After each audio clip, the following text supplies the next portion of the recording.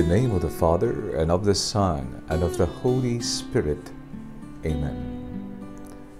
Brothers and sisters, I greet you in the name of our loving Lord and Savior and extend to you my warmest greetings during this Pentecost event in our church. Now, allow me to share with you to start our reflection a story based on actual events. Many years ago, an unfortunate maritime tragedy happened.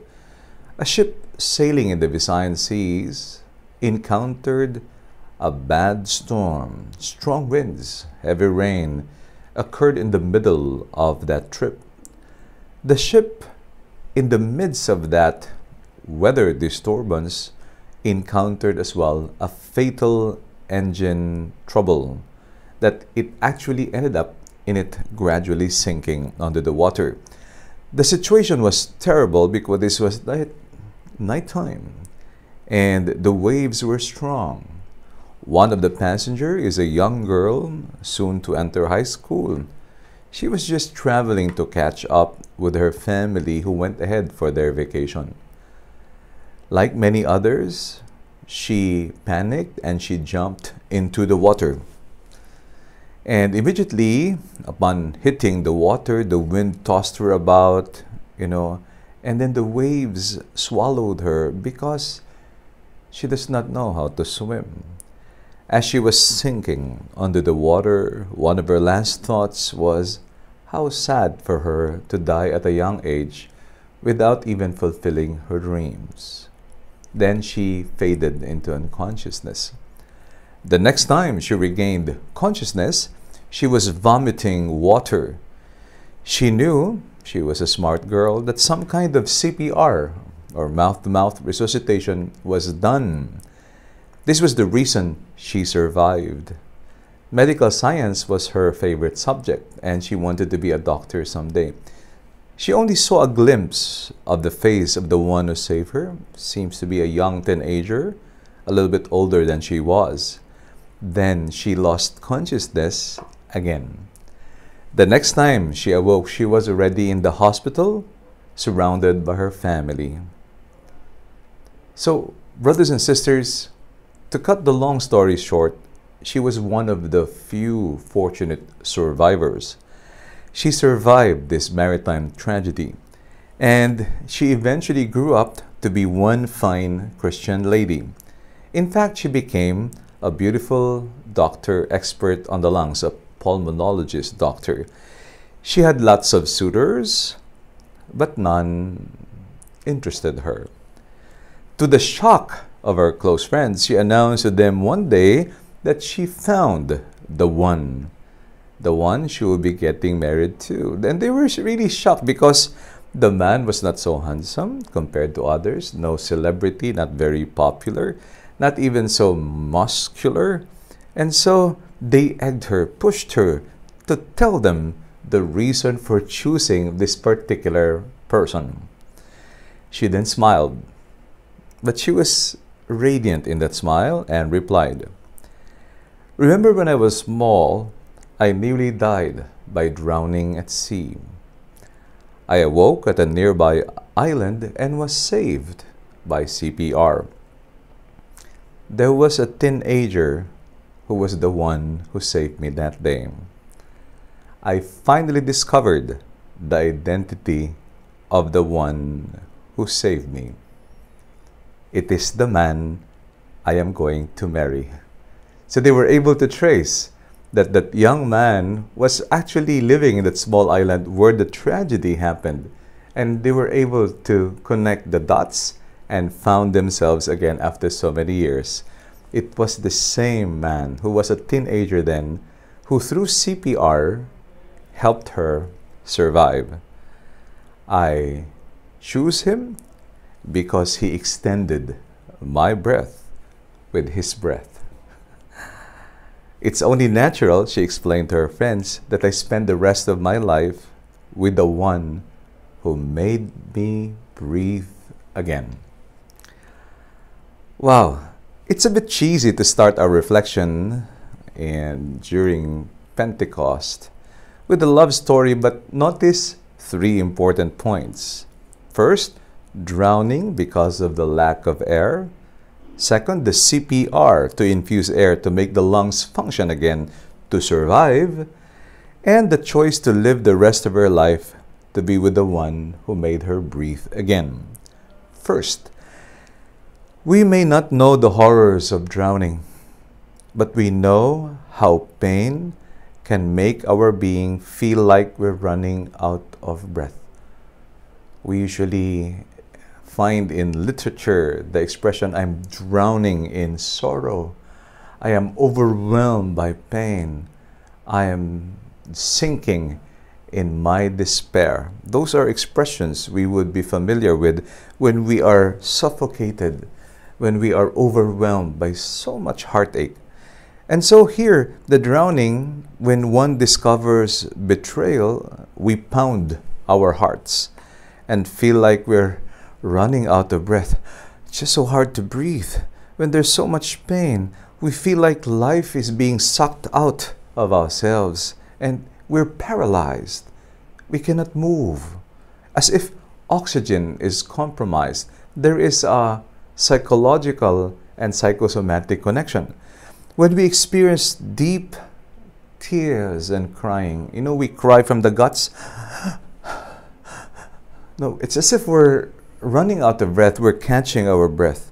And yes, when we feel there's no more reason to live for, in a very, very sad way, jumping over the bridge becomes a viable option to drown ourselves and to drown our sorrows away. Breathing, then, brothers and sisters, is hard when we are hurting and when we are overwhelmed by pain. Precisely in this moment, we are not left orphans. Christ breathes upon us the gift of the Spirit, the advocate, our helper. CPR, which for those who have medical background uh, means cardiopulmonary resuscitation, in the context of the Pentecost celebration may well mean, are you ready for this? C, Christ.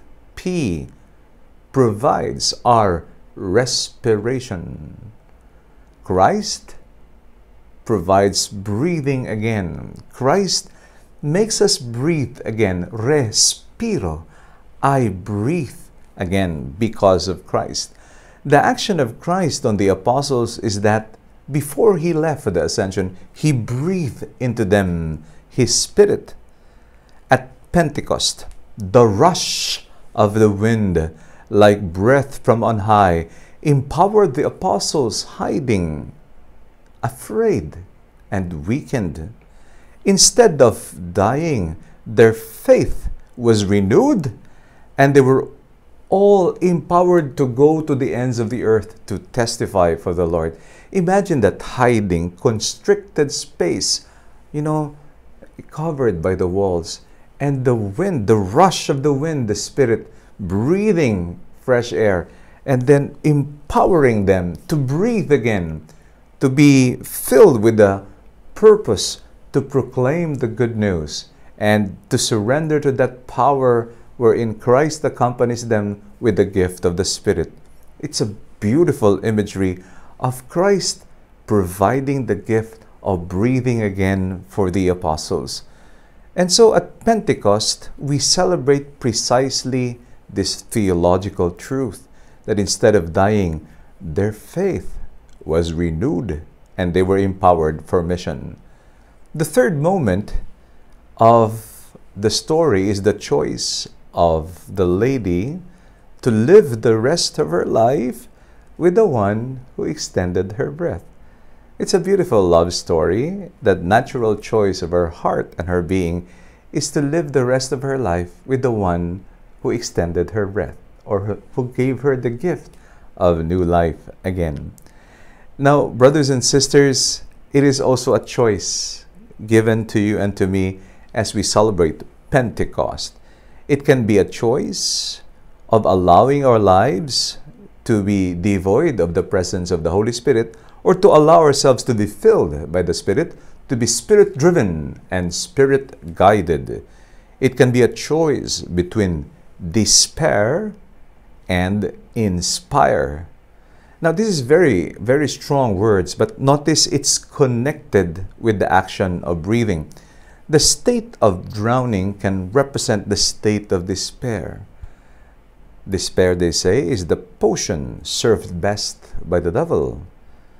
It is devastating because once it seeps in and takes hold of our soul, it can suck out the passion in life, the joy in relationships, and the purpose of our existence. Even if we examine etymology, de sperare, from the old Latin expression, de, the absence or the lack, sperare, breathing. It is very important to, to note that even etymology would point that sperare is connected to the word spirit. Sperare, breathing. And so despair sucks out the breath of life within. We have seen how many people were victimized by despair and would look for answers in drugs, alcohol, and illicit relationships, and even in extreme cases, are pushed to consider ending their lives. For those who have experienced grief, loss, betrayal, you and I know how despair can be powerfully devastating at times. But the good news is, Jesus breathes new life into us, healing and strength. When we choose to believe this in our hearts, then from despair we can be inspired. Again, etymology in sperare. Notice the same root verb. Now breathing into, in, into, breathing. Jesus did this. No? Notice how uplifted we are because we encounter an individual who is inspired and inspiring. That person is exuberant in joy even amidst adversities, still in love despite past hurts, and still passionate through the years in serving because of their faith. We encounter this in an original and powerful way from Jesus Christ our Lord and Savior. And so here, the movement to choose to be inspired is this. When we accept this gift of the Spirit, when we recognize that Jesus breathes unto us the gift of the Spirit, then we can all live to be inspired. This is the key.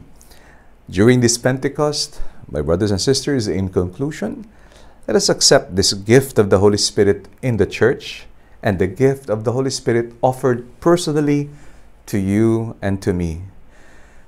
The truth of the matter is, we cannot sometimes avoid being drowned by tears and sadness. But we can always have the CPR to help us survive. Meaning, for us spiritually, Christ provides respiration. Christ provides breathing again through the Holy Spirit. It only makes sense then for Christian believers to choose to live the rest of our lives with the one who has extended our breath, the one who saved us, the one who made us breathe again. Pentecost, then, in the context of this narrative of survival, being helped to breathe again, is our own love story too. Correct? And I hope you agree with me on that. The love of Christ for you and for me, sealed by the Holy Spirit. When we believe this, then we can overcome despair and instead inspire. With the Holy Spirit, we can be inspired and inspiring. So help us, God. The Lord be with you, and may our loving God bless you, the Father, and the Son, and the Holy Spirit. Amen.